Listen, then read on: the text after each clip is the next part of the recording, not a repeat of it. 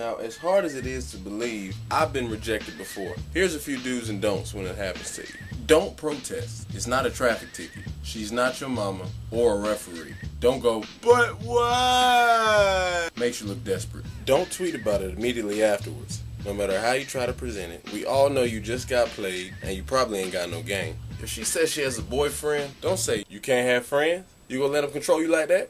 Chicks ain't stupid. At least not all of them. She know what conversation to started with. Your red shirt. Let me holler at you real quick.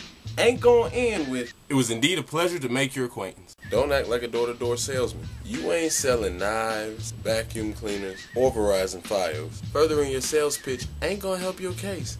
She don't want you. Don't say some stupid ish like, forget you then. Won't nobody even try to talk to you. And my girl look better than you anyway. That's like a cop pulling somebody over when he can't find nothing wrong going. I wasn't trying to give you a ticket anyway. Then Negro, why'd you stop me? In reality, there's really only one way to be cool when you get turned down. Politely smile. I like to place my hand over my heart. It adds to the dramatic effect.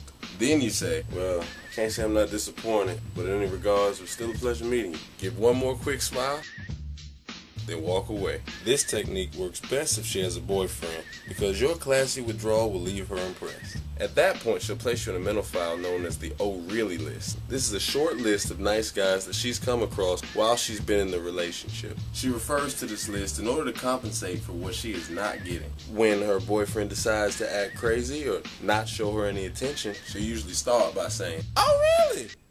Okay. What's Drew up to? Now this is good for those of us on the list, especially if your name Drew. Good for her, bad for her boyfriend. But you know what they say. All's fair in love and opportunity.